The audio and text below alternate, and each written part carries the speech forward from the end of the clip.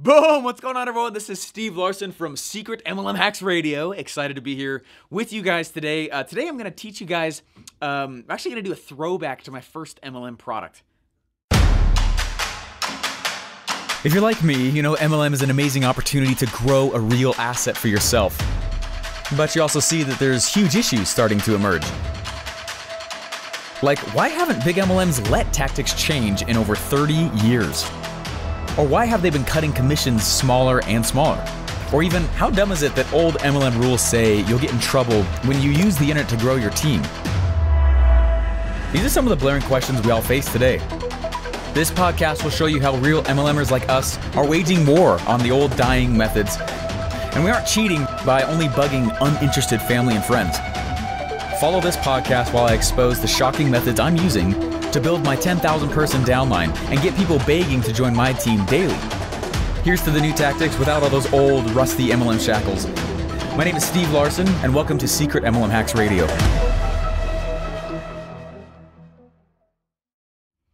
What's up, guys? Hey, so I create products on the internet. If you guys saw last episode, which hopefully you have, um, that attract people to me, and I like to walk a lot of people through how I do that.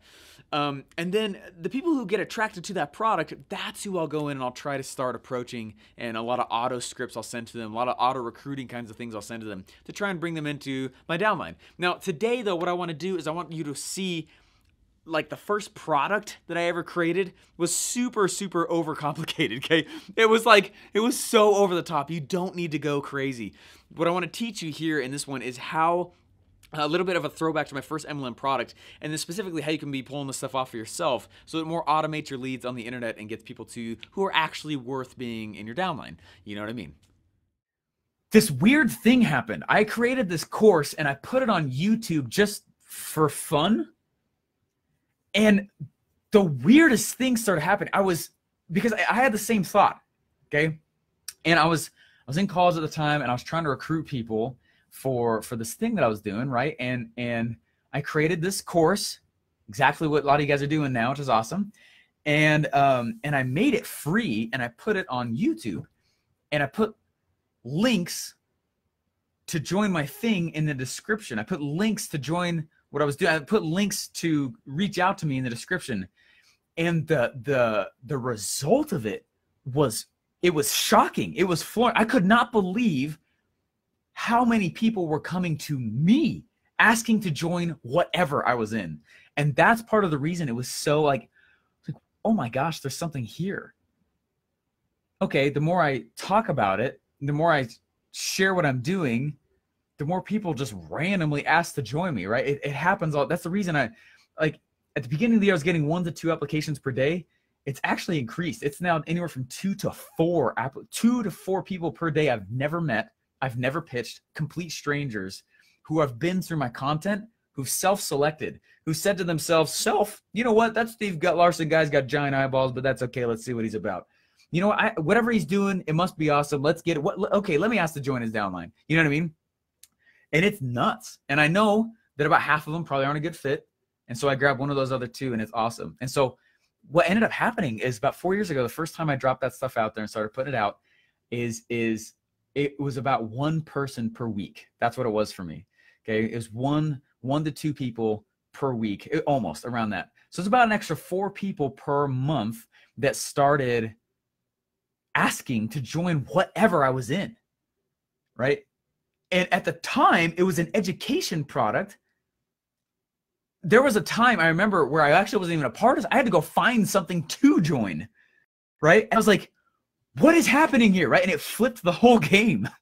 And I was like, that's so crazy. So then I started doing it on purpose. Right. And then it was like two to three a week.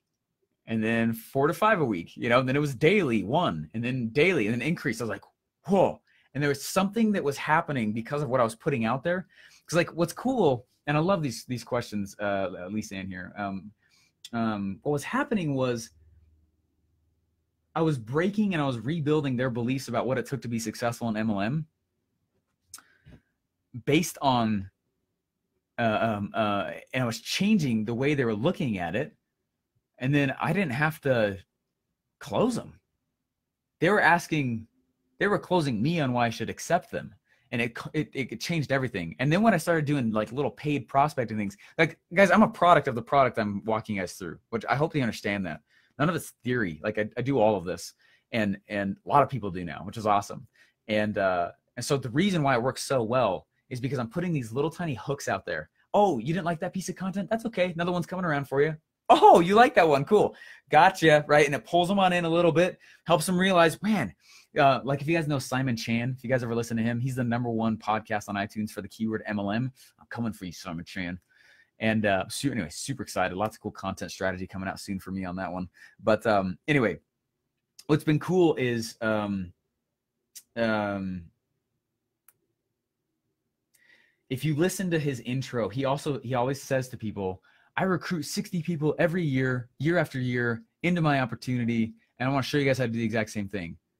And if you poke around what he's really doing, it's the exact same thing. Okay. He puts content out, people start to see him as an authority.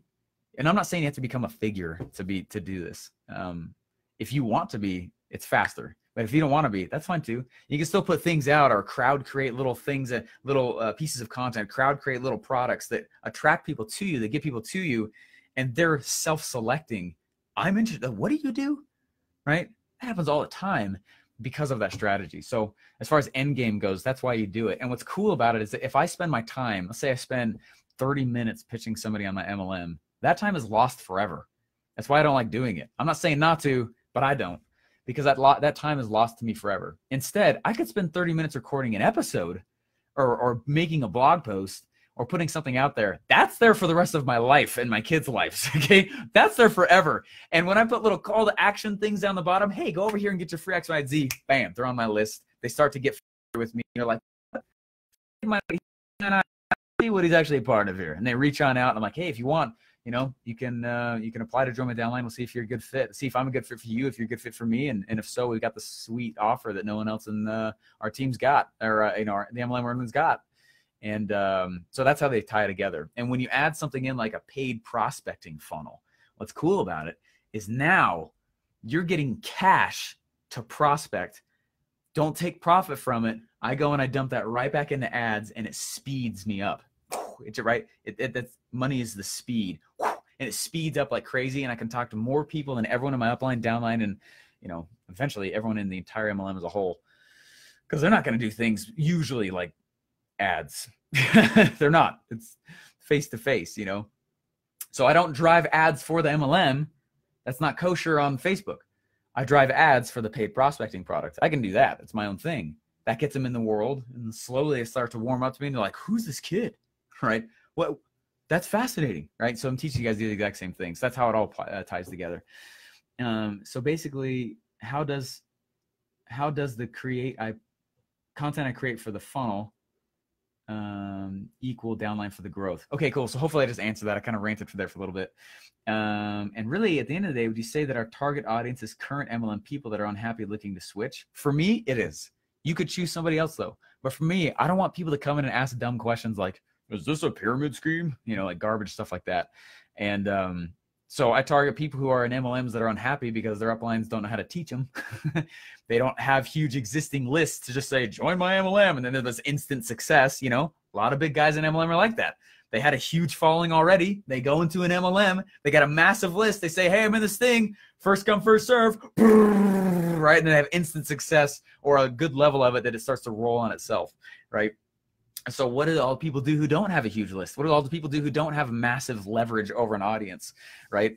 And uh, that's exactly who i cater to. So anyway um, so for example obviously about the system. I relate to what you're saying and wanted to jump on my uh, wanted to uh, jump on my competition but my goal is not to join your mlm that's and 100% totally fine. I don't care. Stay in yours right? But my goal uh, but i want to grow mine in my own mlm but i don't think that was your end game anyway no, it is. Uh, my end game with Secret MLM Hacks is to change the entire MLM industry. I'm here to rock the boat, and I'm here to disrupt the bellies. The belly to belly people who are afraid of technology, the old school MLMers that say, don't use the internet. They're afraid of it because they don't know how to use it, right? And uh, they don't know how to use it in a way where it's still compliant. They don't have to like disrupt Facebook, get banned, and stuff like that. Like there's completely fantastic, amazing ways to do it. So, so go go disrupt your MLM, please. That's my end game because I I left ClickFunnels and my amazing cush plushy job with Russell Brunson to disrupt MLM.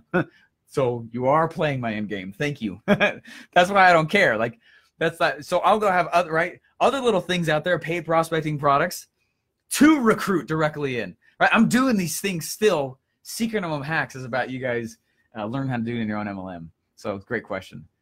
Um, so there are two businesses going on in the system. Uh, it's just one. Yeah, I just have a funnel for right. Funnels aren't businesses. A funnel is not a business. A funnel is a way to sell people.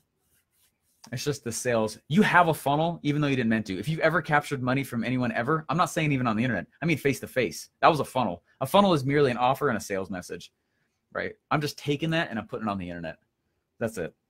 Um, uh, so two business. So it's just one business. I love these questions. This is awesome. With them overlapping into each other, uh, is that where the massive growth comes? The massive growth comes, frankly, when someone actually ponies up the ability to just freaking publish. They build something paid prospecting that lets them spend ads profitably without spending any of their own cash. People coming into that funnel, they just dump that right back into ads. And they have an application funnel where people come in and they apply to join someone's downline you want a massive growth this thing that's how, exactly how you do it that's, that's that's it right there Hey, thanks for listening. Please remember to rate and subscribe. Hey, I know it's tough to find people to pitch after your warm market dries up, right? That moment when you finally run out of family and friends to pitch. I don't see many uplines teaching legitimate lead strategies today, though. You see, after years of, of, of, being a lead funnel builder online, I got sick of the garbage strategies most MLMs have been teaching their recruits for decades. So, whether you simply want more leads to pitch or an automated MLM funnel, head over to secretmlmhacks.com to join the next free training. There, you're going to learn the hidden revenue model that only the top MLMers have been using to get paid, regardless if you join them. You're also going to learn the three step system I use to auto recruit my downline of big producers without friends or family even knowing that I'm in MLM. If you want to do the same for yourself, head over to secretmlmhacks.com now. Again, that's secretmlmhacks.com.